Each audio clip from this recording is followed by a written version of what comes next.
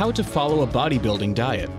If all of your hard work in the gym has produced minimal results, this guide will show you how to more successfully follow a proper diet to reach your goals.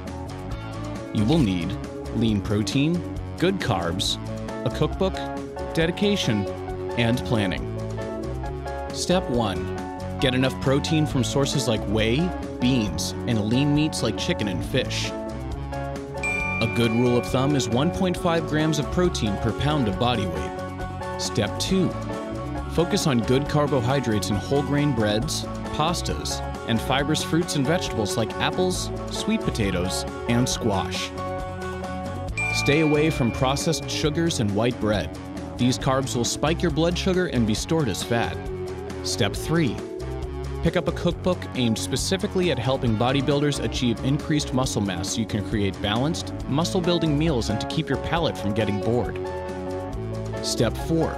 Create cheat days once a week to indulge in some forbidden items such as a cheeseburger or a slice of pizza.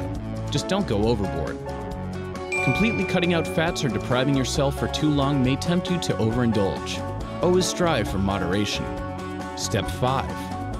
Schedule your meals or protein shakes around your workout. Plan ahead when you're on the go. Packing a lunch and keeping healthy snacks within reach will help you stay on track. Step 6. Tailor your eating habits to conform to your situation, likes, and dislikes. Don't force feed yourself certain foods simply for the health benefits. Make sure you like them.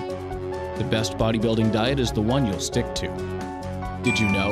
A 2010 Gallup poll found one in three adults are obese in the fattest states in America, which include West Virginia, Kentucky, Mississippi, and Arkansas.